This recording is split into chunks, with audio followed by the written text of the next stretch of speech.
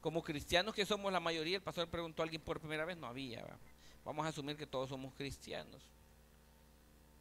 Vamos a comparar lo que el mundo nos, puede dar, porque no siempre nos da. Nos puede dar versus lo que el Señor nos da al estar en una iglesia de Él. Amén. Entiende esa iglesia como un cuerpo espiritual, vean, los miembros, no un templo. Fíjense que los placeres momentáneos que el mundo nos puede dar, como lo dice, ya valga la redundancia, son momentáneos. Oiga bien, los placeres momentáneos que el mundo nos puede dar, redundancia, son momentáneos. Se terminan, son por un momento. Y los placeres que el mundo nos puede dar sería, a usted lo humillaron. Y viene y usted se venga. Y a través de la venganza usted dice, no, porque conmigo aquí no hay nada, grana que pegue tres brincos. Conmigo no hay tales, yo me voy a vengar igual. Y puede ser que se vengue. En el momentito se sintió bien. Pero si estamos hablando con cristianos, rapidito el Espíritu Santo que le fue dado a usted como sello de la salvación, usted es un hijo del Señor, lo redargulló. Lo redarguye en su corazón y le hace sentir ese pesar. Y viene el arrepentimiento y le dice, ¿para qué hablé? ¿Para qué dije eso, hombre? Me tenía que quedar callado. No tenía que responder así. No tenía que vengarme. ¿Quién me está mandando a vengarme? Y se le viene a usted el texto a la memoria. Mía la venganza, dice el Señor. En el momentito sintió placer porque se vengó, porque no se dejó humillar. Pero rapidito el Espíritu Santo lo redarguyó y dice, mía la venganza. ¿Quién te está mandando a vengarte? Un placer momentáneo la venganza. Si se puede ser. Se puede decir. Un placer momentáneo. Un placer momentáneo. Gracias al Señor, la, droga más común y que es legal es el alcohol, vea. Llega al, al, al, clímax del, del vino, le da un placer, se siente relajado, se siente bien fuerte y todo. Pero después viene la consecuencia. Somos, estamos hablando con cristianos, después viene la consecuencia. Y hoy vi, vi un muchacho, fíjese, en una colonia bonita aquí de la zona la mamá estaba a la par, la mamá o la esposa estaba a la par de él. El muchacho tirado, en la, no era la cuneta, tirado en el arriate, entre las dos calles. Tirado, tirado. Y la señora, yo creo que era la mamá por la edad, estaba sentada ahí cuidándolo. Que no, ahí no le iban a robar los zapatos, creo, pero cuidando al, al muchacho. Un placer momentáneo, pero después viene la vergüenza. Y no dudamos que estos placeres momentáneos vienen acompañados de un ramo de consecuencias. Un ramo de consecuencias. Y cuando digo ramo no es solo una, son, pueden ser varias. Y vienen, viene usted, sale perdiendo. Los placeres que el mundo da son momentáneos, hermano. Usted puede decir, yo no me quedo callado. Y siente placer al no quedarse callado. Pero al hablar usted de una manera incorrecta, se mete en un problema más serio. Respóndele a un policía, pues vaya. Andaba yo en Metrocentro, fíjate, trabajaba en otro lugar, trabajando, y me estacioné, panelito, me estacioné ahí enfrente de Metro Sur. Y me dicen, policía, de los que andan a pie. No, aquí no puede estacionarse. Vaya, señora gente, le, y me quise salir. En eso un bus se me atravesó y, me, y se regresó. Deme sus papeles. Me, y comienza la compañera que vaya. Pero ustedes, porque están molestando a la gente honrada, vayan a capturar a ladrones allá de 57, 14 me la Y le dije al policía, mire señora agente, le dije yo, yo no le he respondido mal. Ella le respondió mal, a ella póngasela, le dije, me queda viendo la A ella póngase, yo no le he respondido mal. Y después me dice el policía, tiene razón, me vaya a apelar la, vaya a apelar la esquela. Me, gran clavo, se dice meter al, viceministerio y, quiere regresar como dos veces y después complicado. Solo una vez lo hice, me voy, pago la esquela mejor. Sale mejor. Entonces, el momentito usted, no, pero yo tenía que decirle sus verdades al señor policía. Se las dijo, pero su esquela se la ganó. Lo marcaron, esa placa se la prendieron. Después lo van a agarrar de patito. Enséñeme las luces, que enséñeme el extinguidor, que las llantas están malas, que luz de freno, y hasta que frean. Porque no se quedó callado. Un momento, no, yo no me dejo. No se deja, correcto, pero las consecuencias vienen atrás, vea. Las consecuencias vienen atrás. La, iglesia, hermano, nos da un placer eterno. Eso no lo dudamos nosotros. Las cosas que usted puede, que puede aprender en la iglesia. ¿Por qué puede aprender en la iglesia usted? Porque en la iglesia se predica la palabra del Señor. Por eso usted puede aprender en la iglesia y el Señor le puede enseñar a través de la iglesia, a través de un predicador, a través. Usted estaba esperando una alabanza y, el Señor inspiró al hermano que iba a cantar ese día y cantó la alabanza que él iba a hablar a usted. Mira, ya ve. Señor le, le da placeres eternos, placeres que no se terminan en el momentito, placeres que no le traen consecuencias atrás. Son placeres eternos. Y esos placeres eternos el mundo no se los puede dar porque es material. Dice ahí en el Apocalipsis que los, los elementos van a arder, es Pedro, que los eh, elementos van a arder, se va a acabar pues. En el 8 y 18 de Romanos dice, mire, pues tengo por cierto que las aflicciones del tiempo presente no son comparables con la gloria venidera que en nosotros ha de manifestarse. Está hablando de algo eterno. Todo aquí es momentáneo, hermano. El enojo es momentáneo. Pero las cosas que el Señor le puede, dar y enseñar son eternas. Eso no lo duda usted. Entonces, cuando usted viene a la iglesia, viene a encontrarse con el Señor creador y, tenga en mente que el Señor, nuestro Salvador, además, nuestro Salvador le puede dar una palabra que va a impactar en, su, la eternidad de usted. No es algo solamente para el momentito. Es como una pastilla, un calmante. ¿verdad? Tómese una diclofenac. Usted se la tomó, se le quitó el dolor pero le va a pasar el efecto como a las seis, seis horas, depende de los miligramos que tenga y cuán tan intoxicado esté. Mire, y después viene el dolor otra vez. Momentáneo, un placer solamente lo calma un ratito. Y después, a los años, a los 30 años, le da cirrosis hepática. Mire, por comer, tomar mucha es complicado. Tiene consecuencias, los placeres momentáneos de la vida. Mientras que el Señor, al venir usted a la iglesia ese día, el Señor puede darle su respuesta, el Señor puede quitar ese, no le va a dar un calmante, le puede quitar la raíz de lo que le provoca a usted la complicación. Son cosas eternas que le puede enseñar. Y todo lo que nos puede enseñar el Señor van a impactar en nuestra eternidad. Van a impactar en lo que nos rodea, en las personas que nos rodean. A la gente le gusta estar rodeado de cristianos, porque en teoría los cristianos no robamos. Amén. ¿Eh? No, no debemos. Los cristianos no robamos. No tenemos que ser mentirosos. no tienen que andar levantando contiendas. Si usted ve que anda a levantar contiendas, mm, diga usted. O este creo que este no. Este ha ido a la iglesia pero no se ha convertido. Si usted ve que anda levantando contiendas, hay que pedirse a pensar. Pero no lo juzgue, ahí déjelo. Pero, pero a las personas no les conviene a alguien que esté levantando contiendas alrededor de las demás. No les conviene. Porque el cristiano no levanta contiendas. Al Señor le dejamos todo. El Señor pagará. No, el Señor pagará. Usted, no, tranquilo. No levanta contiendas el cristiano. Por eso les conviene al mundo, los cristianos. Mire, porque el cristiano no se venga. El cristiano deja todo a las manos del Señor. No significa que si no va a poner usted la denuncia. Claro que sí, la va a poner para que sepa.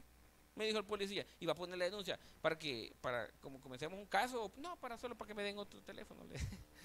¿Para qué va a complicar usted? El Señor pagará. El Señor pagará, Él ponla, Él paga.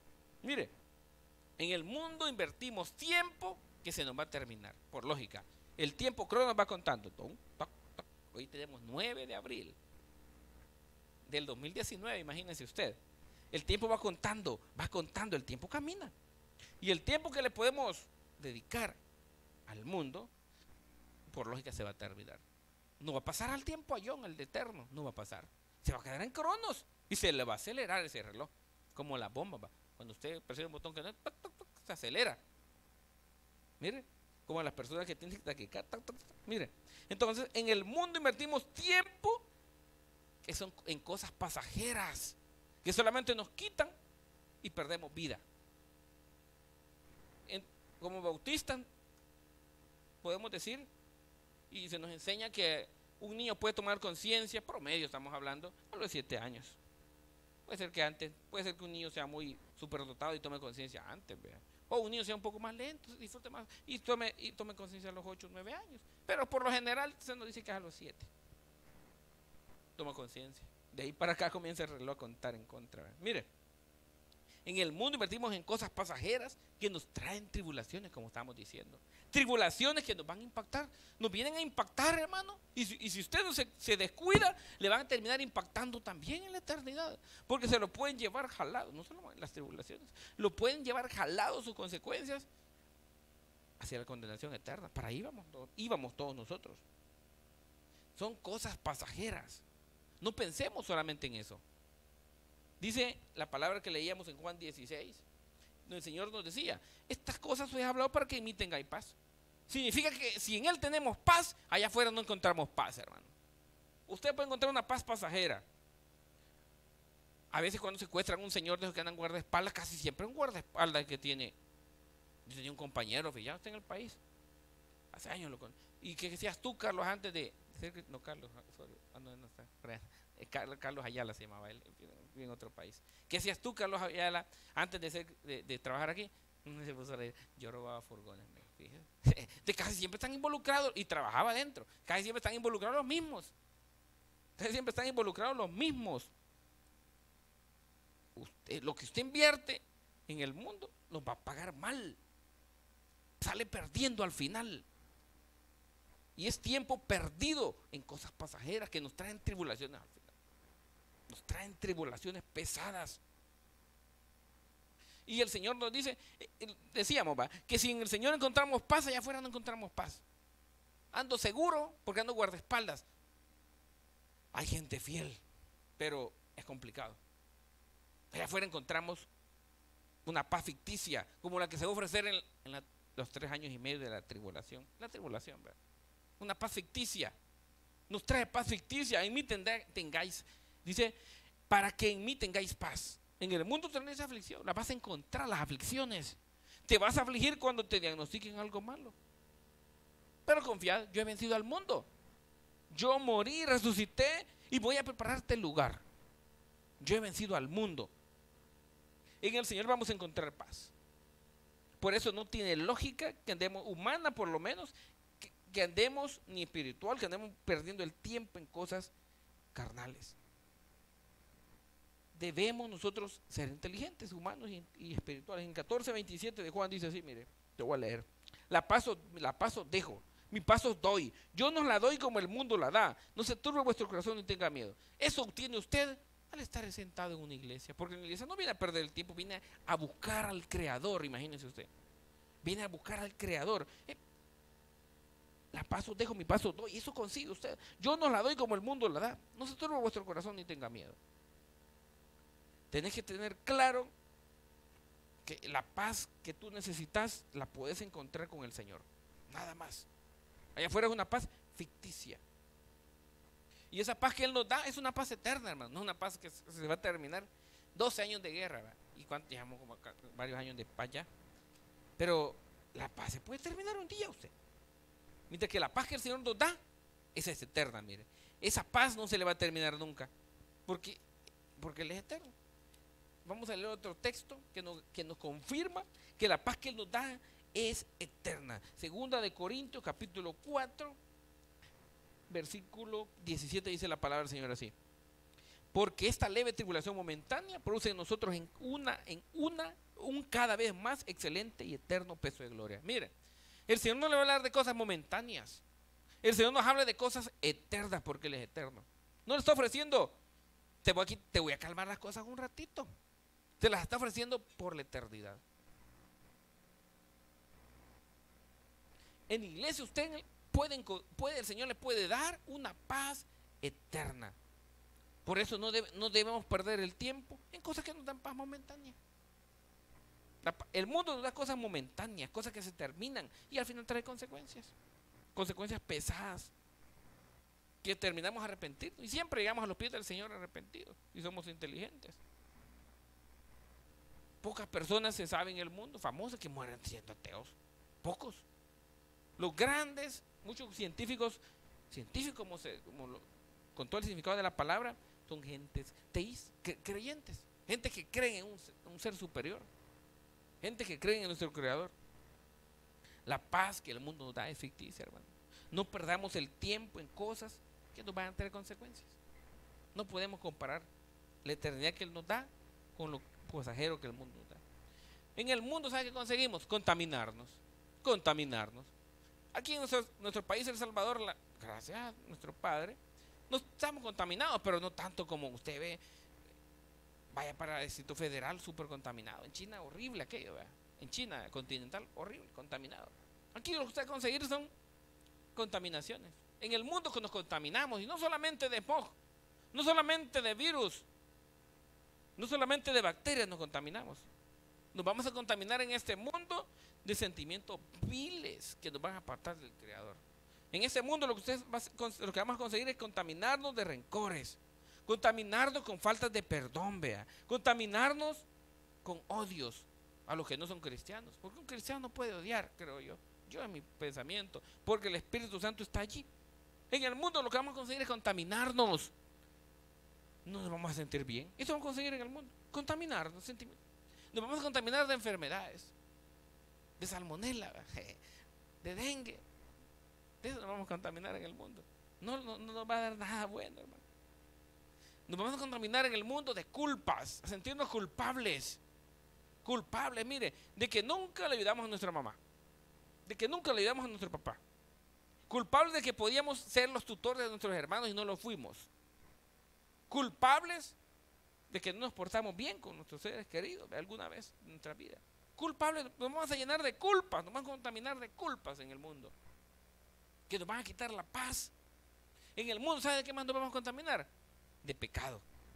Como decíamos que los niños a los 7 años toman conciencia, digamos que así es de promedio. De ahí comienza a contaminarse de pecado. Ahí en adelante ya comienza a reconocer lo bueno y lo malo. ¿Y qué pasa si un niño muere a los 7 años y medio y no sepa al Señor? Se cumple Romanos 2. Es juzgado por su conciencia. No tuvo el chance. No tuvo el chance. Mire. Pero en el mundo nos contaminamos de pecado. Desde los 7 años comenzamos a contaminarnos de pecado, de pecado. Y cuando venimos a tener 32 como yo, ya estamos súper full, full. Mire, entonces nos contaminamos en el mundo de pecado. Eso logramos allá afuera. Contaminados de pecado, contaminados de vergüenzas, de culpas. ¿Por qué te fallé, Señor? no me tuvo que haber alejado. ¿Por qué te fallé? De culpas. Y muchas personas se alejan. Cuando se contaminan de se alejan. En vez de volverse a un Señor misericordioso que nos recibe. En el mundo nos contaminamos de culpas. Pero ¿qué consigue usted en la iglesia? ¿Qué conseguimos nosotros en la iglesia? Limpiarnos de todas estas culpas. Porque en la iglesia nos encontramos con el Creador, nos encontramos con nuestro Redentor.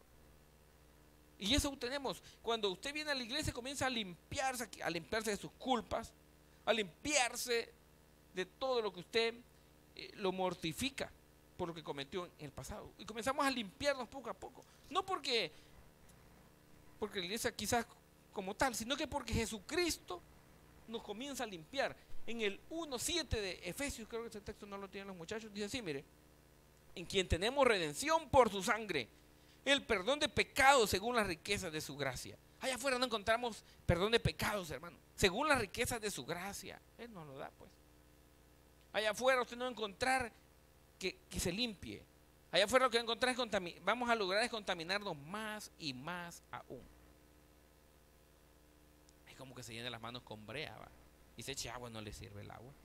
El agua lleno de brea, lo que echan en las carreteras, los negros, manchese la mano, no lo voy a hacer. y se echa agua, no le va a salir usted. Cuesta que salga. En allá afuera no va a conseguir nada bueno. Mientras que en la iglesia, usted, cuando usted se congrega, usted, Señor se manifiesta en usted y comienza a sentir perdón, en quien tenemos redención, mire, y por eso que no nos apartamos, en quien tenemos redención por su sangre. No dice redención porque te portaste bien, eso es una, pero redención por su sangre. El perdón de pecados según las riquezas de su gracia. Él es el único que puede perdonar pecados, hermano. Un juez lo puede indultar o un presidente lo puede indultar a usted. No, lo vamos a perdonar porque quiso, no quiso hacerlo. Quizá. Era un pecado, un, delito no, facilito. Pero solo el Señor puede hacer que usted sienta que es salvo. En el 8, 16 de, de Romanos dice, el Espíritu mismo da testimonio a nuestro Espíritu de que somos hijos de Dios. Y mire, hay personas que han sido maléficas en su pasado y sienten que son hijos de Dios y saben que son hijos de Dios. Y solo eso lo pueden conseguir a través del Señor. Y el Señor se manifiesta en su iglesia. Usted cuando se congrega, usted se, está llenando y el Señor le está diciendo, te perdoné por mi gracia, mi sangre te perdonó. Y por eso no quiere apartarse. O eso consigue usted al congregarse, hermano. Y eso es lo que no consigue también al estar afuera. El mundo no le puede ofrecer, no le puede ofrecer perdón de pecados, ni lo reconocen algunos. No, eso no es pecado. Pero el Señor sí lo puede perdonar, pues es el dador de la vida. Tuvo que venir el Hijo de Dios para que podamos ser salvos, mire, para poder obtener perdón un perdón que nadie más nos podía dar, Él tuvo que venir a pagárselo a usted, a dárselo. ¿Y qué más tenemos en la iglesia? Usted comienza a obtener madurez usted. Vino como un niño chiquitillo, espiritual. Y, y, entre más se comenzó a congregar usted, su mente comenzó a madurar. Usted comenzó a madurar y darse cuenta ya de las cosas. Miren, el 20. Hermanos, no seis, en el 20, 14 de 1 Corintios. Hermanos, no seis niños en el modo de pensar, sino seis niños en la malicia, pero maduros en el modo de pensar. Usted comienza a madurar usted. Cuando venimos a la iglesia no podemos, no, podemos, no vemos nada. Pero cuando comienza a pasar el tiempo, usted comienza a comprender las cosas. Usted comienza a comprender las cosas como son. Y el Señor le dice, y le va enseñando, nos va enseñando, nos va enseñando a madurar. Yo creo que si un niño pasa, póngale que pase tres años en, uy, ya lo moví, tres años en tercer grado, aunque sea por lástima lo va a pasar la maestra, mira, no te quiero ver, te paso cuarto grado. y lo va a pasar. Tres años después lo pasa por misericordia, por lo que sea, lo va a pasar a cuarto grado. El pastor general decía, siéntese adelante, para que le dé lástima. Y ponga, ahí el maestro lo va a ver. Cuando esté calificando va a acordar, ay, hasta acá, ay, tan necio que este Daniel va a poner un puntito más, que pase, va por misericordia y, vamos madurando poco a poco. De repente se da cuenta que usted tenía un don, que usted le gustaba cantar y el Señor le dio el don de cantar y, se acerca a los músicos y se hace ministro, y se hace. Usted viene como niño, pero comenzó a madurar espiritualmente. Allá afuera no va a madurar espiritualmente, hermano. Allá afuera lo que vamos a conseguir es contaminarnos, inmadurarnos más si existe esa palabra. Pero aquí vamos, cuando usted se está congregando, usted va madurando poco a poco. Va pasando de ser un niño, va pasando de ser un joven, va pasando de ser un adulto y llega a ser un anciano usted. Como decía nuestro pastor Manuel González, un anciano no significa que solo es por, por la edad. Hay muchos de ustedes que son ancianos espirituales, son sabios, porque ahí, ahí están, encontrándose con su Señor siempre en primera fila. Espiritual, tal vez no literalmente, que es lo ideal, eh, tal vez no es literalmente en la silla. Pero usted se está encontrando una vez. Y, yo, y de tanto que repiten el texto, se lo aprendió de memoria. Yo me aprendí las tablas de multiplicar de tanto multiplicar. La maestra no me fregó a mí. Me puse a multiplicar en cuarto grado y me las aprendí. Tanto, tanto, 7 por 8, 7 por 8. Al, al, principio veía en la página de atrás del cuadro 7 por 8. Y de tanto estar viendo me las aprendí. Así estamos, mire. Tanto que repiten que es por gracia, que es por gracia, que el Señor lo recibe, que si usted pecó puede volver, que no se debe alejar. Y tanto que se lo repiten, lo terminó asimilando, lo terminó comprendiendo, lo terminó guardando en su corazón y aplicándolo también. Pero tanto, esto está ahí permanente, mire, está madurando espiritualmente. Es lo que logra usted, es lo que logramos nosotros al congregarnos, hermano. Madurez espiritual. Porque día tras día el Señor nos va dando nos va enseñando, nos va enseñando día tras día, día tras día. Por permanencia. El Señor nos va enseñando poco a poco. ¿Sabe qué anda el mundo también allá afuera? El mundo, lo que, lo que podemos conseguir con el mundo con seguridad es la condenación eterna. Y si se lo digo, se la consigue usted. Allá afuera podemos conseguir fácilmente la condenación eterna, sin duda. Porque allá afuera no le van a decir acepta al Señor Jesucristo como su Salvador. Allá afuera no le van a decir arrepiéntese de sus pecados.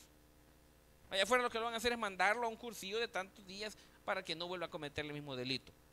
A un amigo que ha pedido Parras, no sé si está vivo este hombre, lo, agarraron manejando bolo allá por, por, por, Ciudad Delgado, me acuerdo, hace años, allá por el 2012, 11.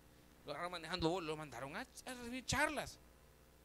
Para que, yo, yo creo que se iba tomando este condenado. Pero en ese momento lo mandaron, eso es lo que hace el mundo, mandarnos a, recibir charlas a los bolos ¿vea? que andan manejando para que le den, tal vez le hacen entrar en conciencia y o por lo menos le da miedo. En otra vez le quitamos la licencia para siempre y por lo menos miedo nos van a dar. Eso hace el mundo. Condenarnos, educarnos no puede. Porque el mundo nos puede educar lo de afuera. Y lo de adentro es algo espiritual que solo el Señor como espíritu que nos puede impactar. En el mundo vamos a conseguir la condenación eterna de nuestra alma. Y la condenación de los demás también. Gracias a Dios no fue mi caso.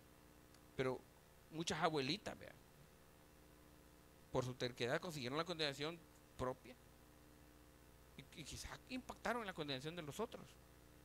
Eso conseguimos allá afuera. En la iglesia, hermano, se nos muestra la salvación que nuestro Señor nos da. A través de la palabra. En la iglesia no le van a hablar de otra cosa Yo aquí nací en el tabernáculo, hermano. Yo desde que nací como a los 14, 15, 16 años, no me acuerdo la fecha. No nací en el tabernáculo. Y tanto estar aquí, ¿ve? En, en la iglesia. Estoy hablando en general. Impactó mi mente, ¿ve? Y nos mostraron la salvación. Y vimos que no era solo lo que no solo era hablar, estaba escrita. Estaba escrita, mire, si nos olvidaron los versículos el día sábado.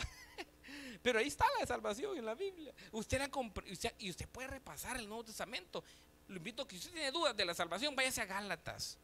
Habla, váyase a Romanos y va a llegar a comprender. ¿Usted duda? No, es que no puede ser por gracia. Hay que uno que tiene que perseverar. Uno tiene que Entonces, si tiene dudas, vaya, lea la Biblia. No le vamos a convencer nunca, lea la Biblia. Váyase a Romanos o a Gálatas y a Efesios también. Por decir tres epístolas pequeñitas, Romanos es el más grande. Y léalas y dígale, Padre, quiero comprender la salvación. Y la va a entender. Ahí la va a encontrar. Allá afuera lo que podemos conseguir es la condenación y en la iglesia se nos muestra la salvación a través de las escrituras. Y llegamos a comprender el sacrificio redentor de Jesús. ¿Y por qué tuvo que venir a morir? Pues no entendemos nosotros. ¿Por qué? No, entendemos eso. Pero a través de estar congregándonos, nos seguimos encontrando con nuestro Señor y usted le pregunta, mira Señor, no entiendo. Y Él le va a comenzar a explicar poco a poco. En el 5.14 de Mateo nos manda a la iglesia a hacer luz. Vosotros sois luz, la luz del mundo. Una ciudad asentada sobre un monte no se puede esconder. Nos manda a hacer luz a la iglesia. Y usted está sentado aquí y se da cuenta que todos los hermanos lo iluminan. Porque aquí nadie le va a hablar de otra cosa. Salvación y salvación y salvación. Y si usted no, manda un tratado en su Biblia, hay tratados todavía. ¿Para qué se llaman los hermanos? Hay tratados. Pues agarre uno, mire. Aunque sea por andarlo, ahí agárrelo. Y cuando tenga dudas, léelo. No broma. Mire, yo creo que aquí lo que se nos muestra es que usted es luz y somos llamados a ser luz y, y, terminamos comprendiendo la salvación y nos avergüenza y nos avergüenza y nos avergüenza el pecado. Que la eh, gracia del Señor esté con todos nosotros, vamos a orar. Bendito Padre Celestial.